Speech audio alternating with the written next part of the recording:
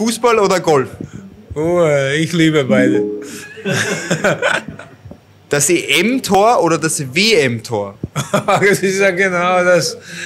Beides, ja. Okay, jetzt aber Messi oder Ronaldo? Auch beides. Das ist, äh, die sind jeder auf eigene Art und Weise sind sensationell. Warum muss ich mich entscheiden? Du kannst sagen, es tut mir weh im Herzen, beides. Ja. Okay, Man hat auch mehrere Kinder und man liebt alle. man entscheidet sich nicht für eine. Schnitzel oder Cevape? Oh,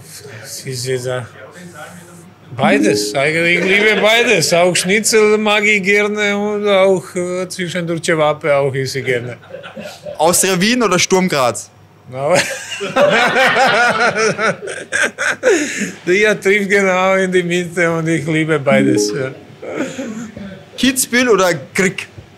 Oh, da bin ich, obwohl es ein Kitzbühel steht, aber ich bin lieber ans Meer. Kirk. Selber Spieler oder Trainer? Spieler eindeutig.